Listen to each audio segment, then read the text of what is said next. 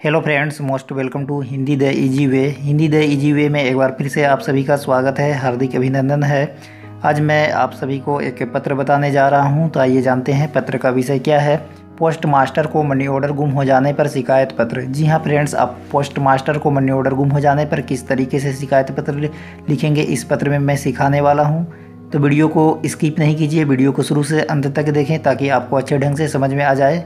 और फ्रेंड्स यदि आप न्यू व्यूवर्स हैं तो कृपया आप मेरे चैनल को ज़रूर सब्सक्राइब कर लीजिए, क्योंकि इस चैनल पर सभी चीज़ों को बहुत ही सरल तरीके से समझाया जाता है, इसलिए इस चैनल को सब्सक्राइब करना ना भूलें। तो आइए आज का वीडियो शुरू करते हैं।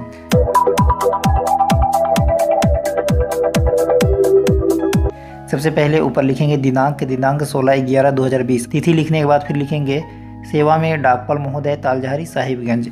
मैं डाकपाल महोदय तालझारी साहिबगंज को पत्र लिख रहा हूँ, इसलिए मैं यहाँ लिखा हूँ तालझारी साहिबगंज। लेकिन आप अपने अनुसार यहाँ पता चेंज कर सकते हैं।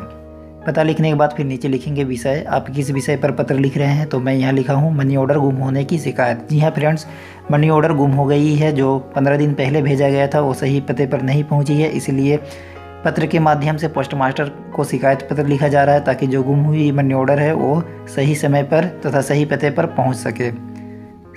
महोदय, सभी ने निवेदन यह है कि पंद्रह दिन पहले मुख्य डाके घर से एक हज़ार रुपये का मनी ऑर्डर करवाया था।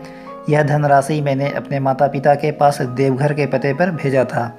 पंद्रह दिन हो गए हैं, अभी तक वह धनराशि नहीं पहुँचा है, ना ही वापस मुझे मिला है, और ना ही इस विषय की कोई सूचना मुझे प्राप्त हुई है। इस कारण मैं बहुत परेशान हूँ। धनादेश की रसीद संख्या 217 दिनांक के पाँच ग्यारह दो हज़ार बीस है। जी हाँ फ्रेंड्स, जो धनराशि भेजी गई है, उसकी रसीद संख्या 217 है और वह जिस तिथि को भेजी गई है, वो है पाँच ग्यारह दो हज़ार बीस।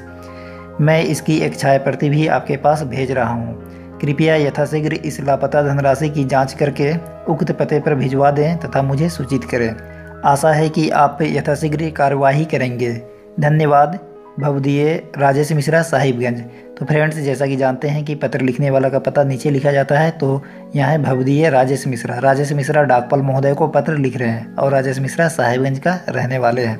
तो फ्रेंड्स उम्मीद करता हूँ कि आज का वीडियो आप सभी को पसंद आया होगा। यदि अच्छा लगे तो आप मेरे channel Hindi the easy way को ज़रूर सब्सक्राइब कर लीजिए, क्योंकि इस चैनल पर सभी चीज़ों को बहुत ही सरल तरीके से समझाया जाता है, इसलिए इस चैनल को सब्सक्राइब करना ना भूलें।